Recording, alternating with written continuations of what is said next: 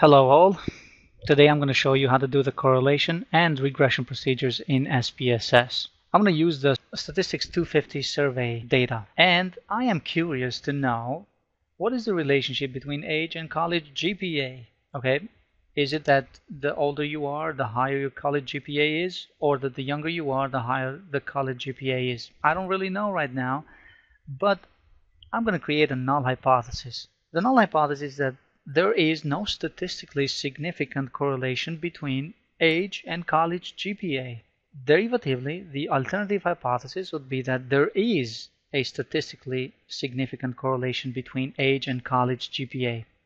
Note that my alternative hypothesis is a two-tailed hypothesis that goes both ways. Either the younger you are, the higher the college GPA, or the older you are, the college GPA. Okay, so we're going to get a p-value that is a two-tailed p-value or probability value.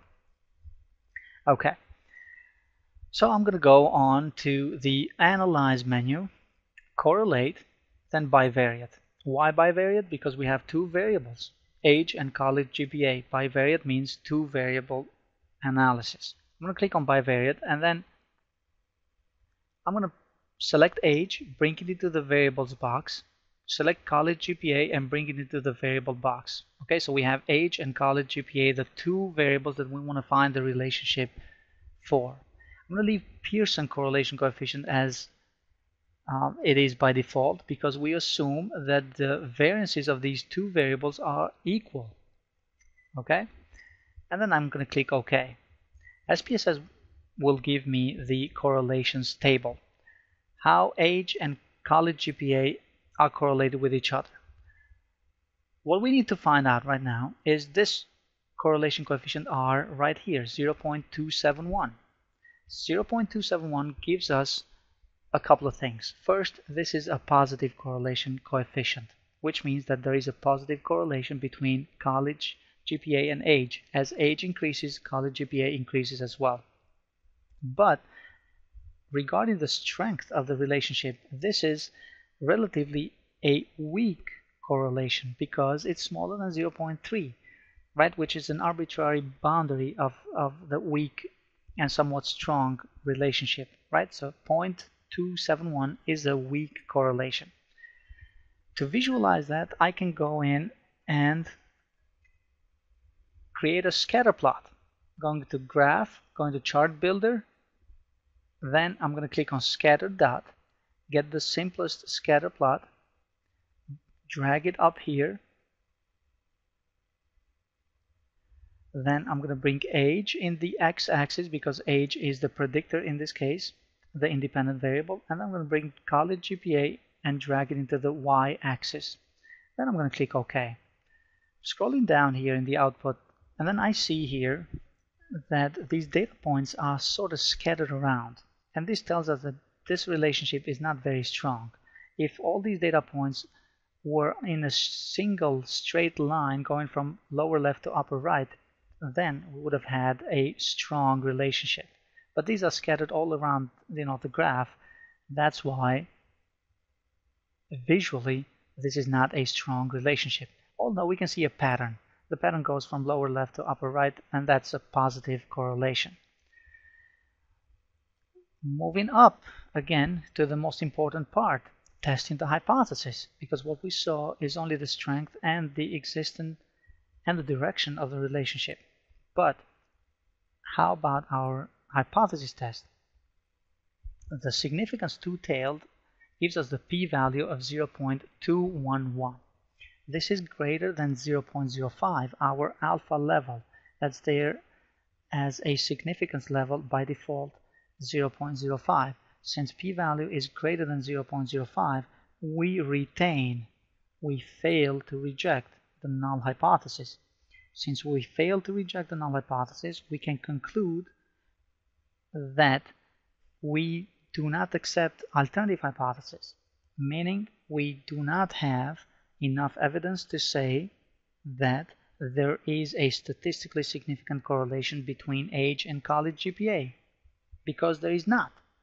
There is no statistically significant correlation between college GPA and age.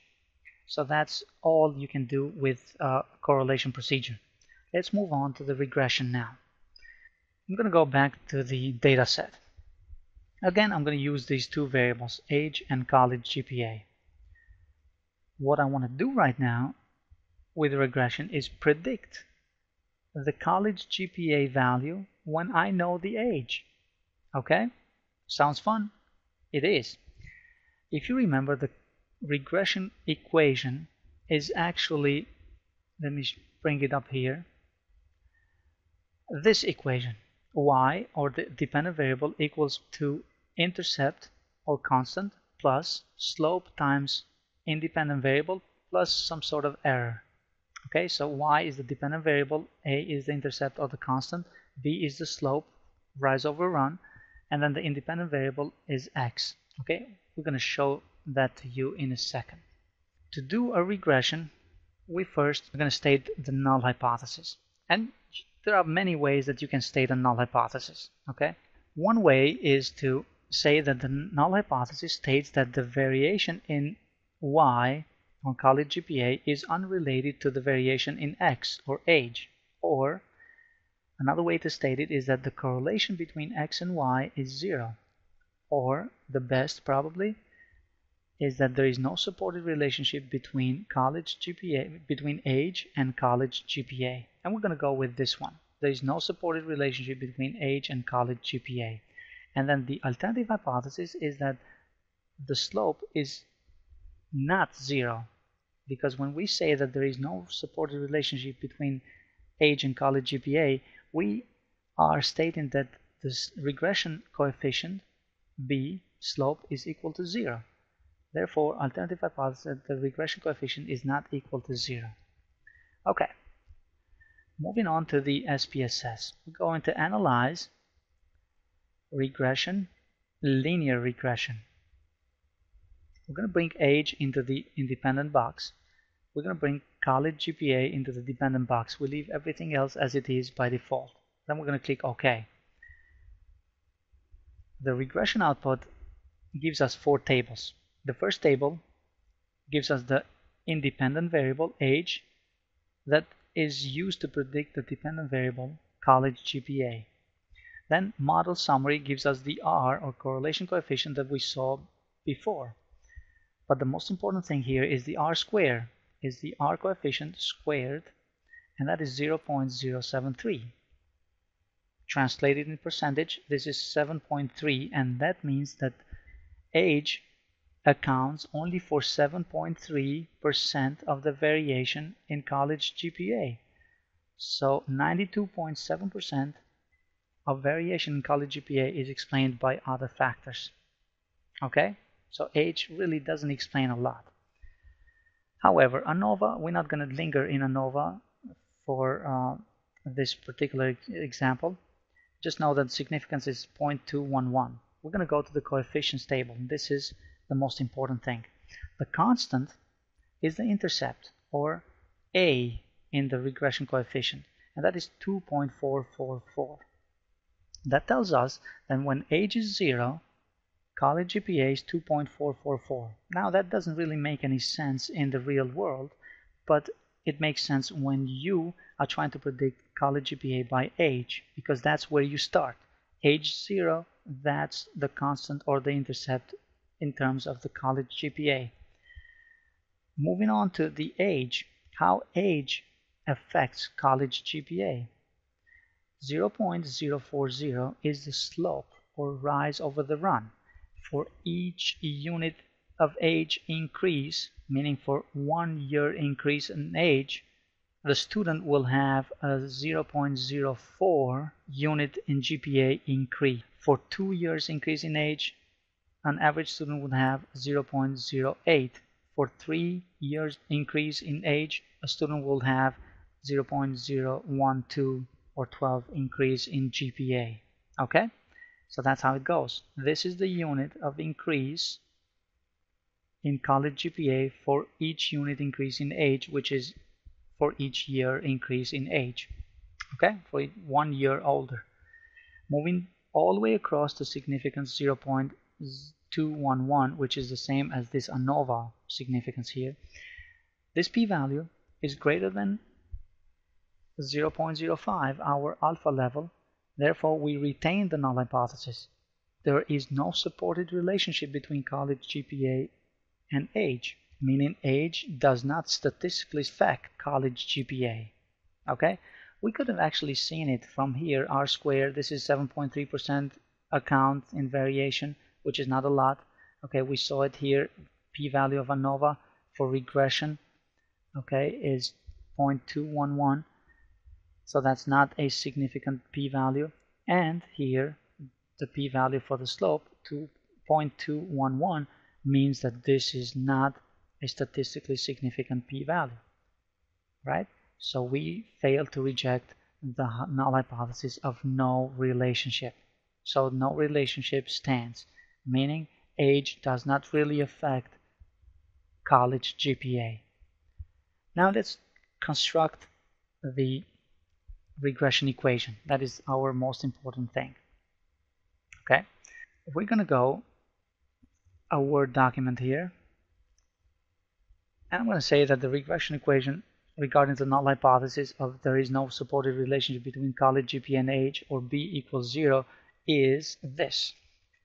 y equals a plus b times x. Okay, a is the intercept, b is the slope. So in our case, we will have a uh, regression equation of this nature. y equals 2.444 plus 0.040 times age. Okay, so this is our regression equation. What can you do with regression equation?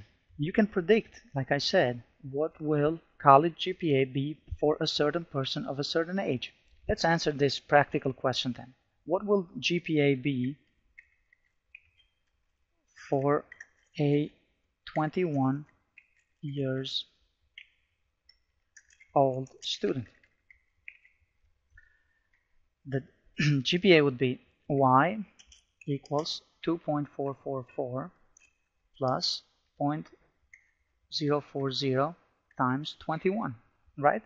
Because age is 21. That's going to be equal to 2.444 plus 0.040 times 21 will be 0.84 right? So we add these two numbers up and we get a number of 3.284 so the answer is the college GPA for a 21 years old is predicted to be about 3.28.